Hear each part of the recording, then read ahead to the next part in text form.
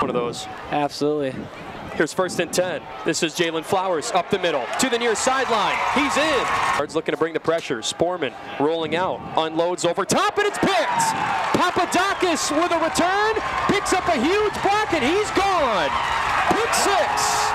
Little over six minutes to go in the second quarter. Give is to Flowers. Looks for some blocks, bounces outside. Now back in, inside the five and into the end zone.